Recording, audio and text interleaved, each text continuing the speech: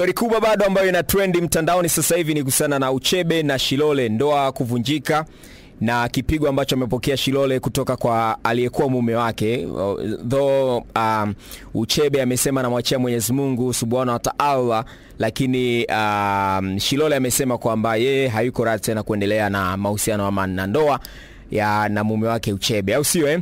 Anyway, juzi kati kwenye Sabasaba uh, wakati maonyesho ya Sabasaba yanaendelea, tuliona vile ambavyo Mheshimiwa Waziri Mkuu wa Jamhuri ya Muungano wa Tanzania uh, Kassim Majaliwa alitembelea banda la Shilole Shishi Food na pale Shilole akaonekana anamkabidhi Mheshimiwa Majaliwa uh, chakula cha asili kutokea Tabora Unyamwezini huko. So ile ni moja kati ya kitu ambacho alikifurahia sana ndugu yetu Uchebe na ikampelekea kuandika kwenye ukurasa wake wa Instagram uh, maneno mazuri sana ambayo hatujategemea kama kuna vitu behind, behind vinaendelea.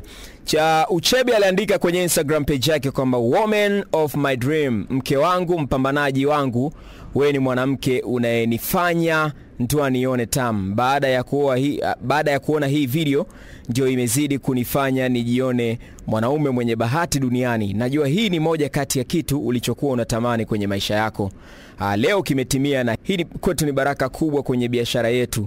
Bado Mheshimiwa Rais tu na inshallah na kupenda mke wangu. Hayo ni maneno ya Uchebe kwenye Instagram page yake siku saba zilizopita before hajampelekea ama hajamchapa kipigo cha nguvu uh, dada yetu Shilole ambaye ni msanii lakini pia mfanya biashara au sio? So unajua maisha yalivyo bwana, unavutiwa una na kitu fulani unapenda, una enjoy afu akizingua kidogo unabadilika, unakuwa kama simba. Situations za kimaisha zinatokea. So kwa haya maneno ambayo ameandika Uchebe, inaashiria kwamba anampenda sana Shilolo, lakini huenda kuna sababu ambazo hatuzijui na tusiwasemaji sana. Ngoja tuone na ambavyo itakuwa.